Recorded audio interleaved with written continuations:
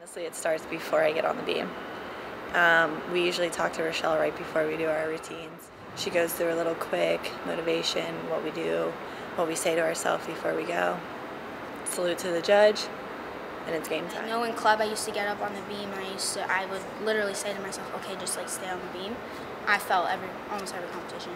And then this year I just like get up and it's just so routine, natural, and that's just from all the mental training we do and being comfortable up there.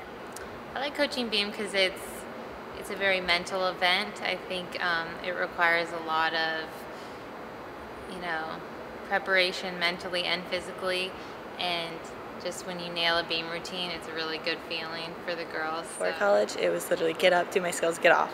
And that's all I thought about was just don't fall, don't fall. We're here, it's like so much more calm, one skill at a time.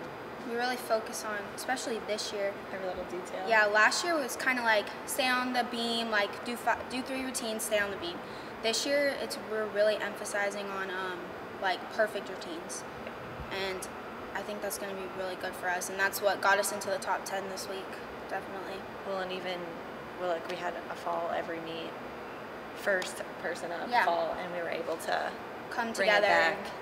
And that just shows what we do in practice pays off. Each day we start practice with a 15 minute beam warm up and then we go to other events and then we come back and, and we do beam later. So hopefully that's uh, going to pay for us pay off for us down the down the road. I was younger. I was like, yeah, so much younger. Like three years ago, I was doing like punch, like punch front on the beam, like a flip forward, and um, I was so scared.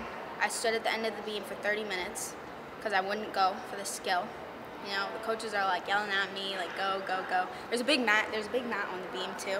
I finally go, and I'm a huge chicken, so I separate my legs like this, bam, crotch the beam, like, like that.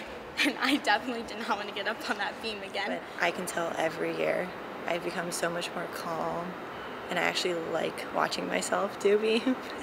Where before it was like, oh god. Every once in a while, even even if it's just like not us two or maybe us, every once in a while someone has like a I crash a huge lot. crash. I don't know everything sometimes. you know it probably hurts, but yet everyone's laughing. I don't know. It's just it's just crazy. We always watch ourselves on the We re- TVs. yeah, we redo it. rewind the thing so many times.